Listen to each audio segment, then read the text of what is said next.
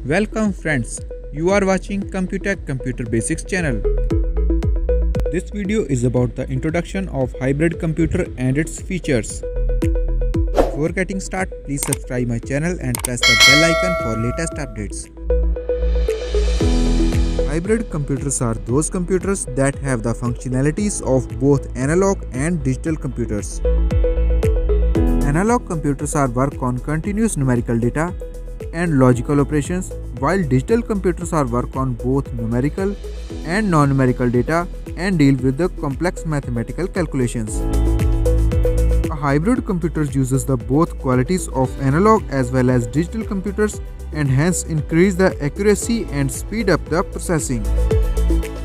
The qualities of both analog computer and digital computer were combined in a single computer known as hybrid computer to achieve the goal of fast and accurate processing at the same time. The first hybrid computer was designed in 1961 by Packard Bell and it was named HYCOMP 250. There are three types of hybrid computers. The first one is large electronic hybrid computers. These computers are capable of solving complex mathematical equations.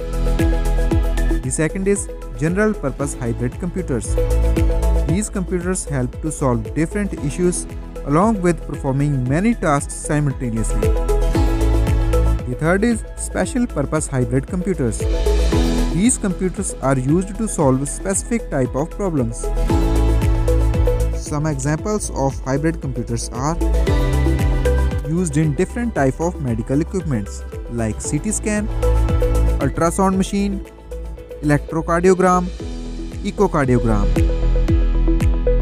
Used in hospitals, in ICUs. Used to measure heartbeats.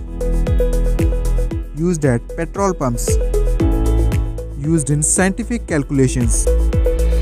Used in cell phones to convert signals. Used in research and production industries. Features of hybrid computers provides functionalities of both analog and digital computers, returns accurate results at fast speed, helps to solve complex mathematical equations efficiently. It has the capacity to convert one type of data into another. It can process both continuous and discrete data.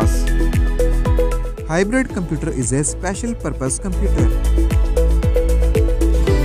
So guys, this is the video about introduction of hybrid computer and its features. If you really likes this video, please subscribe my channel and press the bell icon for latest updates. Thank you.